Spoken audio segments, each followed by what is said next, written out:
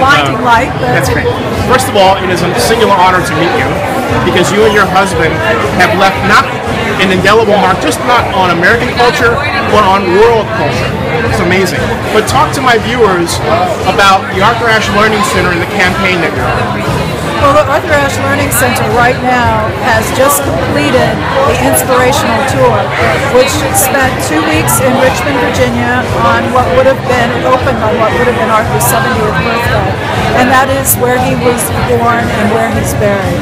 And the response to the inspirational tour was 200% enthusiastic. We did very, very well there.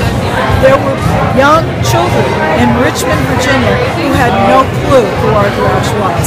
And this is the kind of thing that we want Arthur Ashe Learning Center to be able to bring information, inspire young people, talk about the, the values that allowed that Arthur possessed coming from an illiterate father and his mother died when he was six years old, that he could become such a world influence. We want to pass that message on to as many young kids as possible, no matter what walk of life, what your, um, your background or your situation is, that with will, you can do anything. And let's talk.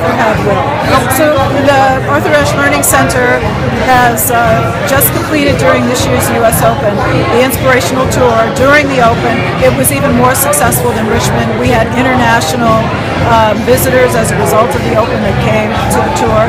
So now people are interested in touring it. But um, to do so, we have to become a self-sustaining organization, the Arthur Ashe Learning Center. Um, I have two uh, wonderfully brilliant, I pinch myself every day, young women who work at the Learning Center that help to archive all the information and get the information out to the public. They do curricula. Um, you know, I founded the organization for which I'm a volunteer. So what I'm looking to do is to now begin a $5 million campaign so that the organization can, I don't have to worry about uh, money from hand to mouth in paying the employees.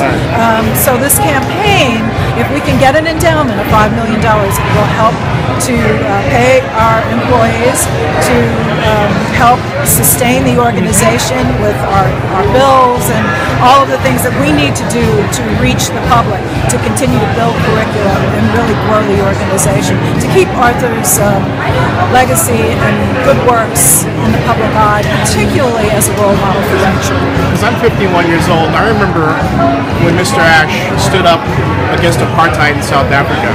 And now a lot of people, because some things have changed and we have generational change, right. they don't realize that's what he did. And it's important to keep that legacy going. You know? You hit the nail on the head. It's absolutely true because um, if if we were to leave it up to today's generation, they would only remember him as a tennis player who died of AIDS, Right. if they even knew that. Right. But what came See, I don't think before of it as that, that way. I think of the apartheid part. Uh, absolutely. Well, because it's your generation Right. and my generation. Right. And we understand those struggles and we understood what Arthur had to do, who he was as a human being to be able to um, to navigate in an all-white tennis world and to have everyone in that tennis world love him so much that um, there was something about Arthur's personality that was non-threatening, non-accusatory. It was about inclusion and it was about Plus, kindness. he was smart as hell. His intellect was definitely very well put. Thank you. Hey, the URL, the website where people can go to and donate if they wish. Uh, Yes, um, www.arthurashe.org is the name of our uh, website. You'll find all the information about the inspirational tour. Um, there's a donate button on the site. You can donate there. $1, $5, $10, a $100, whatever you can give would help us with this campaign. thank you so much. Again, an honor to meet you. Thank you, and thank you for the opportunity to talk about the organization.